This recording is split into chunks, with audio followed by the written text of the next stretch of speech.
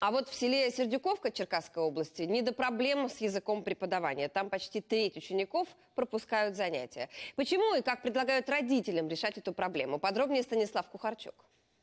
Вот так с 15 сентября Светлана возит своего сына из дома в школу и обратно. Женщина живет на станции Сердюковка в трех километрах от села. На своем двухколесном коне теперь ежедневно наматывает по 12 километров, лишь бы ребенок занятия не пропускал Велосипед витримує. Головне, щоб я витримала довго.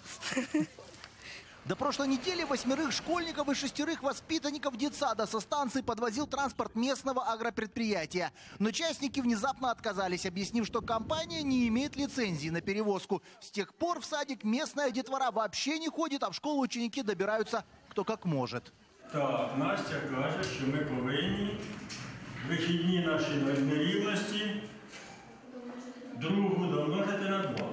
Максим спешит наверстать школьную программу. На прошлой неделе два дня девятиклассник был вынужден провести дома. Ремонтировал старый велосипед. Говорит, пока позволяет погода, будет ездить в школу на нем.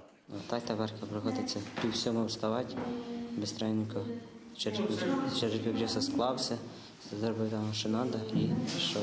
Из-за отсутствия транспорта занятия пропускает половина детей, проживающих на станции, говорят преподаватели. Уже неделю администрация Сердюковской школы пытается решить проблему, но под программу школьный автобус заведения не попадает. Три километра по нормативам слишком маленькое расстояние. Вчера в Смелянском райсовете предложили детей возить на учебу школьным автобусом в Терновку. Туда около 30 километров, но зато ездит школьный автобус. Родители возмущены.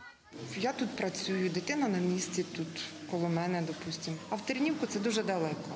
Це далеко просто. В райадминистрации предлагают пересмотреть маршрут автобуса из Терновки. Пусть делает два рейса.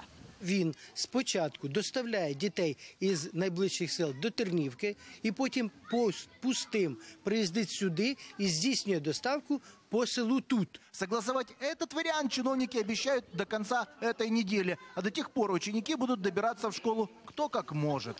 Станислав Кухачук, Олег Клименко. Подробности телеканал Интер. Черкасская область.